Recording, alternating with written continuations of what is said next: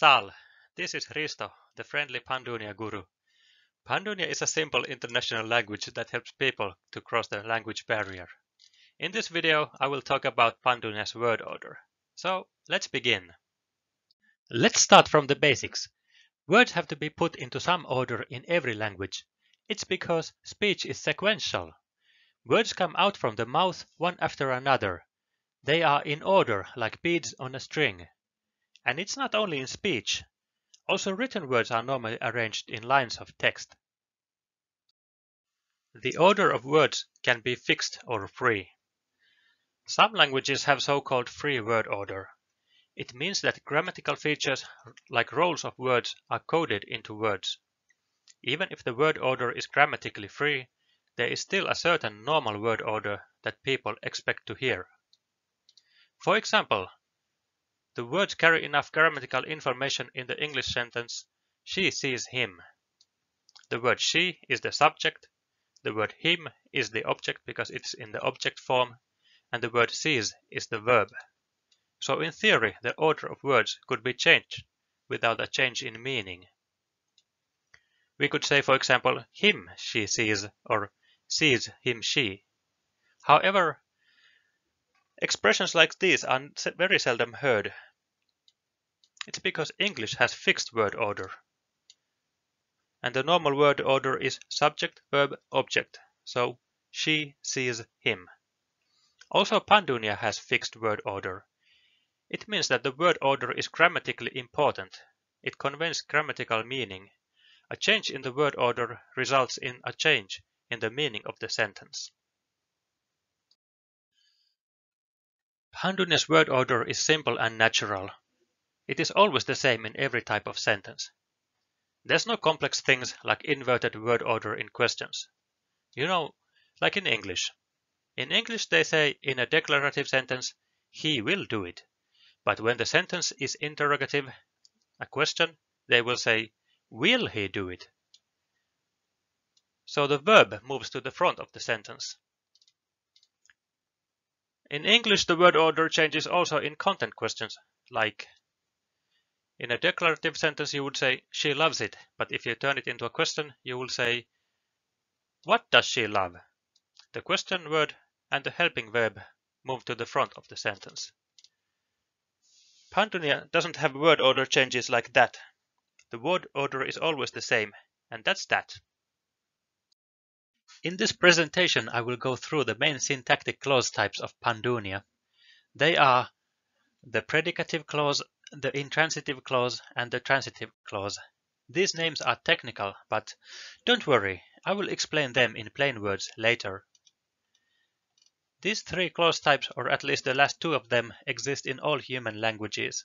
They are also the most frequent clause types in Pandunia. I will start my presentation from the predicative clause. It's the simplest of all the clause types. The purpose of the predicative clause is to assign some identity or quality to the subject. Here are two examples of predicative clauses. The cat is an animal. This sentence assigns the cat into the category of animals. The man was happy. This sentence assigns the quality of happiness to the man. I have colored the participants, the subject and the predicative, with different colors. The subject is someone or something that the clause is about. Here the subjects are the cat and the man.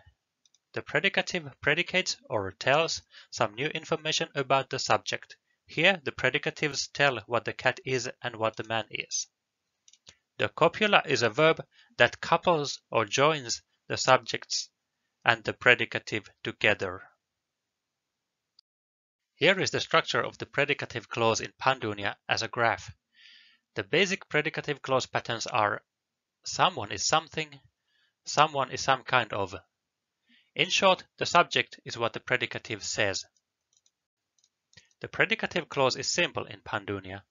What is new for English speakers is that the copula verb to be can be left out. It's not necessary in Pandunia. So there are two types of predicative clause, verbal and nominal. The verbal predicative clause uses the copula verb to be. To be is always es in Pandunia. There is only one word form, es. Da es Ali. He is Ali. Ali es guru. Ali is a teacher. Guru es sen. The teacher is old. Mimen es Pandunia gen. We are Pandunia people. The nominal predicative clause doesn't have any copula verb. There is no es. There's nothing at all, or maybe just a short pause between the subject and the predicative. This so-called zero copula can be marked with a dash in writing, like I have done in this slide. Da Ali. He is Ali. Ali Guru. Ali is a teacher. Guru Sen. The teacher is old. Mimen Pandunia gen. We are Pandunia people. The copula verb is necessary in serial verb constructions. There must be es or else the sentence might have a different meaning than intended. Dabil es guru. He can be a teacher. If you would say only Dabil guru, it would mean he can teach. Mimen yau es how. We need to be good. If you would say only Mimen yau how, it would mean we need something good. I will introduce the intransitive clause next. It is another simple clause type in Pandunia. The purpose of the intransitive clause is to express an event where someone does something or where something happens. The intransitive clause contains only one participant, the subject. It is the doer or the experiencer of the event. Intransitive clause does not contain an object. Here are some examples of intransitive clauses. Children run. This sentence tells what the children do. They run. The door opens. This sentence tells what the door does. It opens. The old man dies. This sentence tells what the old man experiences. He dies. As you can see, the actions can be voluntary or involuntary. They are done by the subject or they just happen to the subject. In intransitive clauses, if anyone at all is affected by the event, it is the subject. So the action is directed at the subject. The subject undergoes a change. The change can be a change of state or a change of place. In the sentence, the children run, the subject changes place. In the sentence, the old man dies, the subject changes state from living to dead. Here are some intransitive clauses in Pandunia. I have colored the subjects with orange and the verbs with blue. Bace kurse. Children run. Junfem danse. The young woman dances. Senman morte. The old man died. Note that Pandunia verbs don't include tense, so they can express the past and present alike.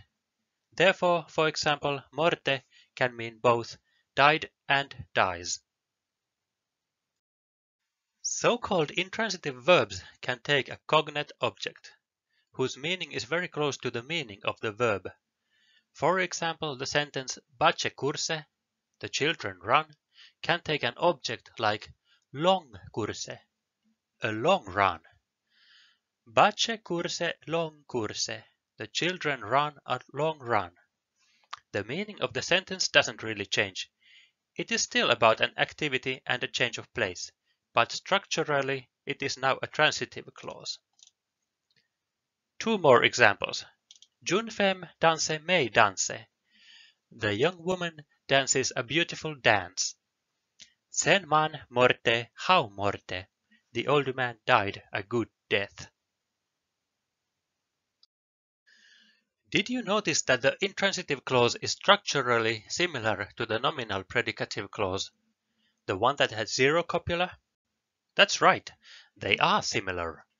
Therefore, the sentence sen man morte can mean both the old man died and the old man is dead. But they mean the same thing, don't they? So it's okay that they look the same because they mean the same thing too. One can also use the copula verb and say sen man es morte. The old man is dead. I will close my presentation by talking about the transitive clause. It is the most versatile clause type in Pandunia and it has many different realizations. Transitive clauses are clauses where the verb has a direct object. A direct object is someone or something that is affected by the verb. The purpose of the transitive clause is to express an event where someone does something to someone or something. The three constituents of the transitive clause are subject, verb, and object. They can be ordered in many different ways. In Pandunia, the order is subject, verb, object, or SVO in short. This order is one of the most common word orders among world's languages. It is the most common word order by number of speakers and the second most common word order by number of languages. Transitive clauses are called transitive because they express an event where some energy transits from the subject to the object. Subject, verb, object is a natural word order because it follows the natural order of the event. The subject is the source of the energy. It sends it through the verb, which transits it to the object. The object receives the energy and is affected by it. Here are some examples of transitive clauses in Pandunia. Jen dape mur, a person strikes the wall. Jen is the subject and mur is the object. Waf jam oste, a dog chews a bone. Waf is the subject and oste is the object. Guru kitabe buke, a teacher writes a book. Guru is the subject and buke is the object. This slide demonstrates that words don't change in Pandunia. Mi porte da, I carry him, da porte mi, he carries me. The personal pronouns remain unchanged, regardless of whether they are the subject or object of the verb. There is nothing in the words themselves that would indicate their role.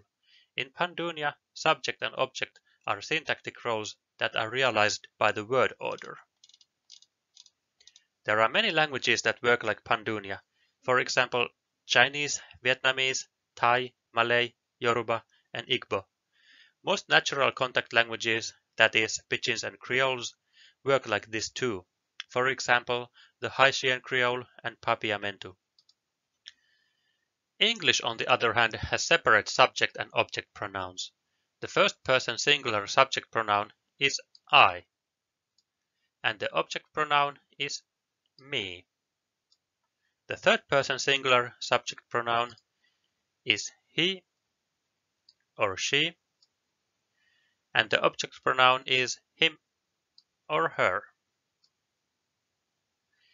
Many languages differentiate subject and object forms in nouns too, not only in pronouns. Pivot construction is a very important construction in Pandunia. It is used often and for many different purposes. It is a very powerful and versatile syntactic tool. A pivot construction is born when a transitive clause is joined to another clause, and the object of the first clause is the same as the subject of the second clause. They merge together into one, so they become what is called the pivot. The pivot is at the same time the object of the first verb and the subject of the second verb. Let me show an example. There are two transitive clauses at the top that are joined into one pivot construction at the bottom. Mi vide waf. I see the dog. Waf jam oste. The dog chews a bone. The object of the first clause is the dog. The subject of the second clause is the dog. They are the same, so we can combine these clauses into one and the dog becomes the pivot. Mi vide waf jam oste. It can be expressed in at least two different ways in English. I see the dog chewing a bone or I see that the dog chews a bone. Here's another example. Again, there are two transitive clauses at the top, and they are joined into one pivot construction at the bottom. The first clause is Guru Ching Schuler. The teacher asks students. The second clause is Schuler Kitabe Letre. The students write a letter. They have the same participant, the students, so that is the pivot. The clauses can be joined into a pivot construction. Guru Ching Schuler Kitabe Lettre. The teacher asks students to write a letter. Remember what I told about the natural word order and the flow of energy. Energy flows from the most powerful participant to the least powerful participant of the event. This applies to the transitive clause and also to the pivot construction. In both cases, the subject starts the event, the verb or verbs transit the energy forward, and the object receives it at the end. In the typical case, also the pivot transits the energy. In the previous example, the students write the letter because their teacher asks them to do it. So, in a way, they transit the energy or power from the teacher to the act of writing the letter. There's no direct flow of energy in the other example where the subject sees the dog chewing a bone. That's because seeing is not an energetic verb. So in that case, the sight transits from the subject to the dog and finally to the bone. Let's look at a bigger picture. The pivot constructions that we just discussed are basically two events or actions in a chain. Only two. In reality, action chains can be much longer. Every cause has an effect, which causes another effect, which causes yet another effect, and so on. An action chain describes flow of energy from one participant to another. The chain starts from the most powerful participant, the prime mover, and it ends at the least powerful participant. A typical action chain involves the causer, the agent, the instrument, the patient, and the recipient or benefactor. An action chain is created by joining many transitive clauses, so it is like many pivot constructions in a row. It's possible to express very long action chains in Pandunia. Here's one example. The participants are marked with different colors. Mi ching tu use chaku kateban don ma. I request you to use a knife to cut bread and give it to mother. Normally we don't want to say the entire action chain. It would be boring. Normally people talk only about those participants that are interesting and newsworthy. So they pick only a few interesting participants from the entire action chain. What's important is that their order stays the same. Energy flows always from the beginning to the end, from the first participant to the last. In this selection, we are interested about the agent, the instrument, and the patient that are involved in the event. Agent is the participant who does the action. Instrument is the tool that transits the action. So it is the pivot. Patient is the participant that undergoes the action. Man use chaku kate ban. The man uses a knife to cut bread. The man is the agent, the knife is the instrument, and the bread is the patient. Bache jete ball dape goal. The child throws a ball to hit the goal. The child is the agent, the ball is the instrument, and the goal is the patient that is hit. In this selection, we are interested about the causer, the agent, and the patient. The agent is the pivot this time. We talked about the first example earlier. Guru Ching Schuler Kitabe Lettre. The teacher asks students to write a letter. The teacher is the causer, the students are the instrument, and the letter is the patient. Chefe amir karer bine karekan. The chief orders the workers to build a workshop. The chief is the causer, the workers are the agent, and the workshop is the patient. We can describe the same situation also in terms of syntax. The chief is the subject, the workers are the pivot, and the workshop is the object. Pandunia, it is possible to leave out participants from pivot constructions under certain conditions. The subject can be left out when it is known without saying, and the first verb is a modal verb. A modal verb indicates a modality such as question, guess, desire, wish, and suggestion. Here's one example, first as the complete construction. Misual tu kitabe lettre. I ask, do you write letters? The subject is I and to ask is a modal verb in Pandunia, so the subject can be left out. The resulting sentence goes like this. Sual tu kitabe lettre. Do you write letters? This is a normal way to ask yes or no questions in Pandunia. Coincidentally, it resembles the structure of the corresponding English sentence. The only difference is that the sentence starts with a meaningless empty verb in English, do, whereas it starts with a perfectly meaningful verb in Pandunia. Sual means to ask. Of course, a question should include a question word. Sometimes the first two participants can be left out when they are known without saying. It works with requests and orders when the first person makes the request or orders the second person. In other words, when I request or order you to do something. Here's an example. First the full sentence. Mi ching tu kitabe letre.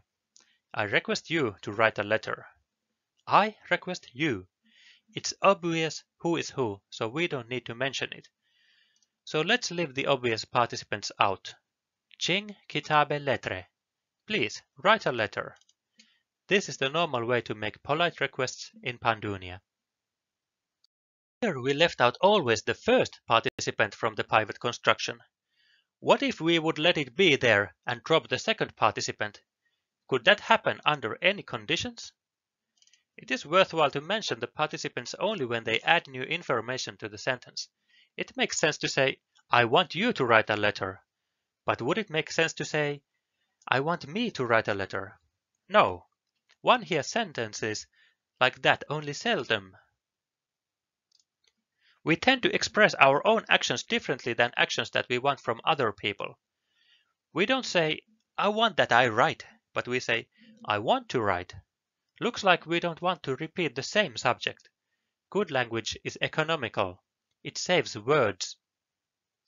The second participant can be left out from the pivot construction when it is the same as the subject.